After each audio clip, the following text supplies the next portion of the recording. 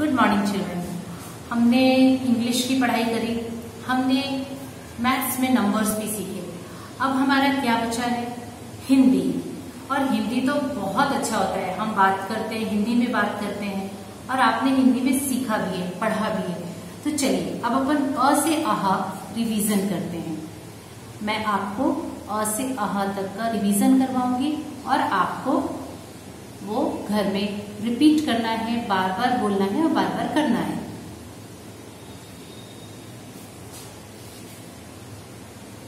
अ से अनार। अ से अनार। आ से आम।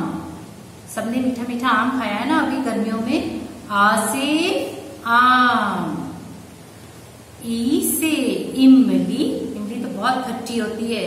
ई से इमली ई से ईख गन्ने का रस किस किस को पसंद है मुझे तो बहुत पसंद है। और गन्ने को हम क्या बोलते हैं? ईख।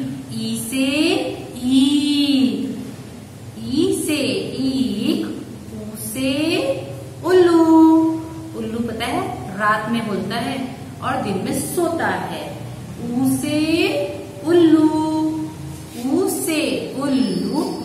ऊ से ऊन। जो हम ठंडी के दिनों में गरम गरम स्वेटर पहनते हैं वो ऊन से बने होते हैं ऊ से ऊन। और ऊन किससे मिलता है? भेड़ से। शीप शीप से हमको क्या मिलता है? ऊन ऊन। ऊ से ऊन, री से ऋषि। री से ऋषि। ए से एड़ी। सबके पैरों में नीचे एड़ी है ना? सब जल्दी से अपने अपने पैरों में एड़ी को टच करेंगे। ए से एड़ी। ए से एड़ी।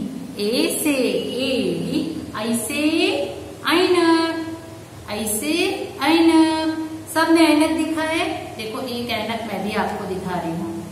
ऐसे ऐनक ऐसे ऐनक ओ से ओखली। मम्मी अदरक कूटती है ओखली में। ओ से ओखली ओ से ओखली औ से औरत औरत कौन होते हैं मम्मा होती है, दीदी होती है, दादी होती है, उनको क्या बोलते हैं? औ से औरत औ, अंग से अंगूर। खट्टे मीठे अंगूर किस किस को पसंद है? मेरे तो फेवरेट हैं, अंग से अंगूर। अंग से अंगूर, आहा।